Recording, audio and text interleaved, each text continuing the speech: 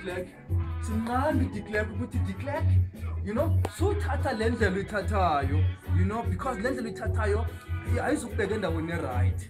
Udeclerk akasimamela wahamba waya eamerica. America wenza i-press conference phaya you know esewashington influenced i-washington consensus.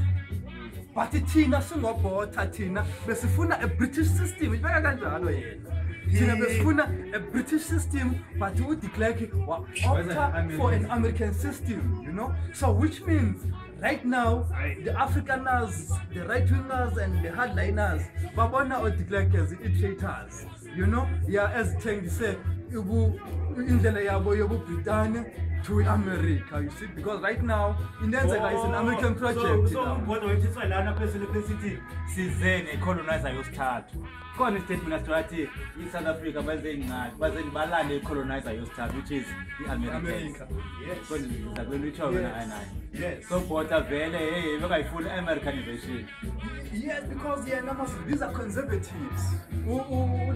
Udeclerk is sort of like a liberal.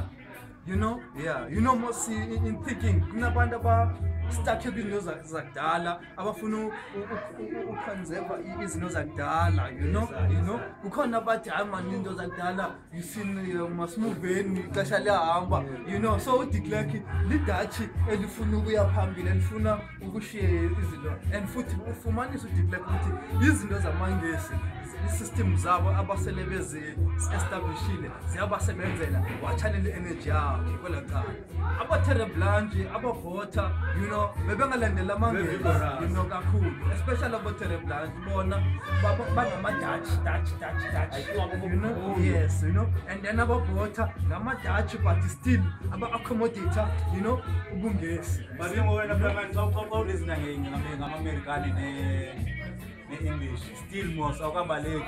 Kosokubritani ubaleka amerika usanquna endaweni yinto eyi-one. yinto eyi-one but the only difference kusekubeni ukuthi e-america you know i-america mos iye yathini yathi independent kwi-britain zin and then yaba ne-constitution kwaba khona some changes kwi-constitution nakwi-social life ase-america you know. So though i-britain ine-role ine-influence kwi-american way of life you know but kodwa i-america ayilandeli i-british system of parliament umzekelo i-procedures ezithile izinto ezithile.